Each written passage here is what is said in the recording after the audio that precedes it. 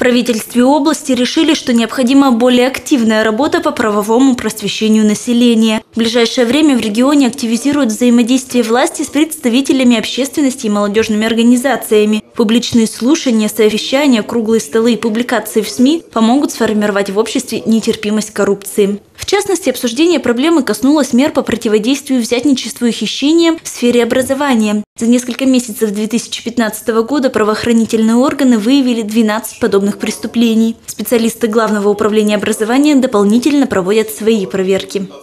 Если говорить об этом периоде с января по июнь 2015 года проведено 103 проверки э, образовательных организаций 51 плановые, 52 неплановые проверки. По результатам проведенных проверок коррупционных фактов не выявлено.